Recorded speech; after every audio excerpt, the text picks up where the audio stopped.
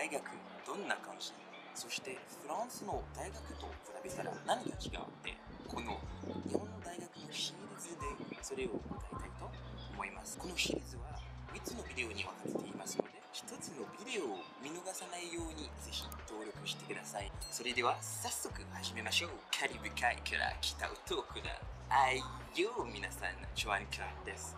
今日は特別なゲストいますよ。紹介させてもらっていいの？はい、私はジョアンの友達のあやです。えっと大学の3年生に3年生です。えっと私は大学でフランス語を勉強しています。あとはフランスの文化とフランスの文学を、えー学んでいます。えっとあとはシェアハウス、ウジェフスのシェアハウスでインターンをしていて。えっとパリで行われる日本文化のイベントのスタッフもたまにやっています。今年はパリに行けないんですが、えー来年行きたいと思ってます。じゃあお願いします。日本の大学に入学するためには入学試験を受けなければいけません。えっとあとはしっかりしたあのお金が払えるっていうあの証明も必要です。で例えばその経済的理由でお金があんまり払えない人は補助してくれる機関が日本にはあるのでそういうところに相談して返済しなきゃいけないお金を借りて一回大学に払ってとかそういう感じでみんなあのそうお金のことは、えっと、結構大事です。ね、で日本の大学に、えっと、入るためそれは一つのルールだね。あとは試験。ある試験はその入りたい大学によって違うもし入りたい大学がめっちゃあのハイレベル。例えば英語が英語をめっちゃできる大学に行きたいって思ったら英語の試験は難しい。うん。で日本の大学は文系と理系があって文系の場合はサイエンスの試験が簡単でもサイエンスのを勉強したい大学はあサイエンスの。うん、うん、それはまあもちろん。なんだけどフランスだったら高校生の時にの終わりにバカロレアとという試験があってでみんな一般的にフランスの中で全員受けるで平均な点数だったら大学に入学できる。なんでなんでだろう？なんでですえっと日本の大学は国立と公立と私立に分かれています。公立と国立はその国が運営するあの機関の中の大学だから国がその勉強する学生たちにお金を出してくれる。だから1年間授業料で52万円。高っでも高いけど私は私立からあの安いと思う。私の場合はあの私立でその国からのあんまり補助ないから1年間で 100, 100万ぐらい。かかります。そっか。だから日本ってなんか大学に勉で勉強してると言ったらみんな結構びっくりしてる。だから、うん、お金が必要しであとは頭も、えっと、いいと思う人。けどフランスではねやっぱり安い、えっと、大体、えっと、4万円ぐらい。でもし小学校だったら、10えっと、1500円くらい。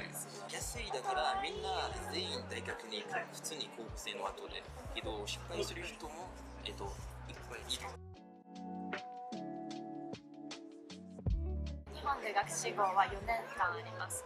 でこの大学学士学士の4年間を卒業した後に就職する人たちが多いです。仕事を探す。あと修士号と、えー博士号は同じ大学院っていう機関の中であるんですけど修士号の方が2年間。博士号が3年間。ん OKOKOK うん。まあフランスと同じと思うんだけどただ学士語、えっと、学士は、えっと、3年間だけ。見たのが自分自分が勉強した、えっと、ことと関係全然関係ない、えっと、仕事をしてるみんな、まあ、フランスでもそうそれがあるんだけど日本はもっと一般的な気がした。どうどう思う、それは私もそう思う例えば私はフランスの企業で働きたいと思ってるから、ん。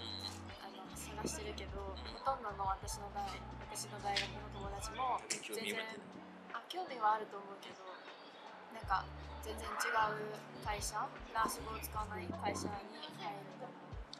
でもその理系サイエンス系の大学は専門性がよりあの狭い。だからそのサイエンス系の大学に行ってる人はあの大学院とか博士修士博士に行く人が多いとはその大学の教授になってなる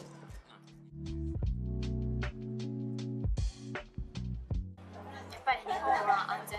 だからそう女の子がもし一人で留学しに来たとしてもあの夜一人で歩いてたりとかしても事件に巻き込まれることが少ない。だから勉強に集中できるしなんか日本人はやっぱり優しいからもし日本で迷ったりとかわかんないことあったらすごいお母さんみたいに助けてくれるで日本人はなんかあまり英語が喋れない人が多いからだから少しでも日本語が喋れるとすごいなんで日本語喋れるのう。んなんか褒められてるとそうそうそうそうかうんだか。ら上手ですそうねそうそうそう。そうだからすごいポジティブで前向きに勉強できるフランスの大学だったら、えっと、フランスはヨーロッパに含まれているので、えっと、なんか調査とか実験とかなんかよ大学で旅行する。いっぱい旅行する。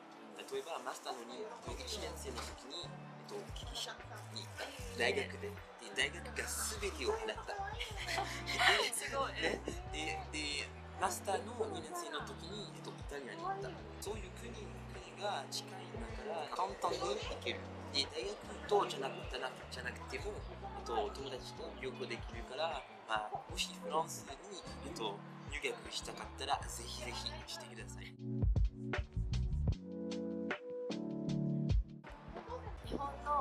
は入学したらもう絶対、まあ、99%ぐらいの割合で卒業できます。ね簡単だね。みんながいるだからめっためったにその悪い点数とか全然大学に行かないとかそういうことをしない限りは絶対入学あ絶対卒業できます。そうだね。でその逆にフランスだったら入学するのが、えっと、簡単だから卒業するのが難しいですということで必死で勉強しないといけない。うーんなんか卒業卒業する効率が低いです。来週の日本の大学の比率で女子大学って何ですか？という質問を答えたいと思います。だから興味がある方ぜひ登録して逃がさないでください。あ、いやビエント